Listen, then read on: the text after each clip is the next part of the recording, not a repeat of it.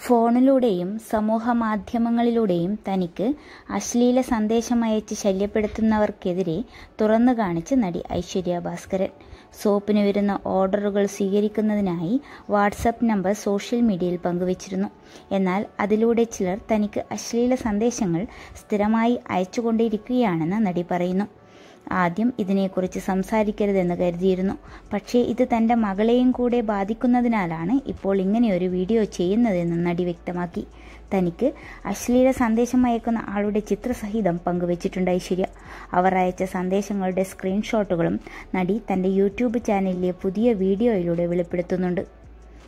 അമ്പത്തിരണ്ട് വയസ്സുകാരിയായ തന്നോട് ഇങ്ങനെയാണ് പെരുമാറുന്നതെങ്കിൽ നാട്ടിലെ മറ്റു പെൺകുട്ടികളുടെ അവസ്ഥ എന്തായിരിക്കുമെന്നും ഐശ്വര്യ ചോദിക്കുന്നു.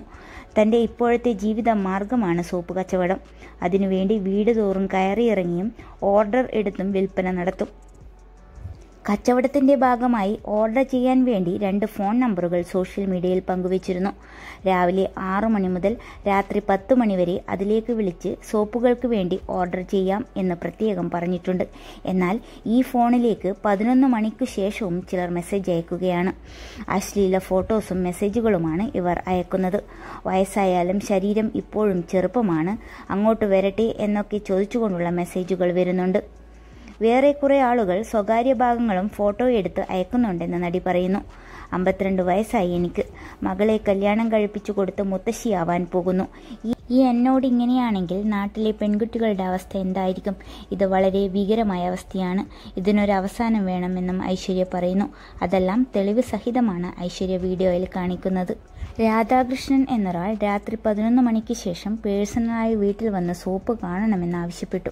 ഒരു സ്ത്രീ ഭർത്താവില്ലാതെ ഒറ്റയ്ക്ക് ജീവിക്കുന്നത് കാണുമ്പോൾ ഇങ്ങനെ ചോദിക്കുന്നവരെ ചെരിപ്പൂരി അടിക്കണമെന്നും ഐശ്വര്യ പറഞ്ഞു.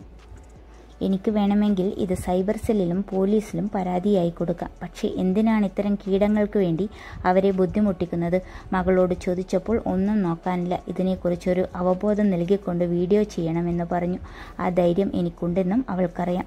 അങ്ങനെയാണ് ഈ വീഡിയോ ചെയ്യുന്നതെന്നും ഐശ്വര്യ പറയുന്നു. വിവാഹമോചിതയാണ് ഐശ്വര്യ. ആയിരത്തി തൊള്ളായിരത്തി തൊണ്ണൂറ്റി നാലിൽ വിവാഹിതയായ താരം രണ്ട് വർഷത്തിനുള്ളിൽ ബന്ധം വേർപിരിഞ്ഞിരുന്നു. ഈ ബന്ധത്തിൽ ഒരു മകളുമുണ്ട്. മകൾക്കൊപ്പമാണ് ഐശ്വര്യയുടെ താമസം.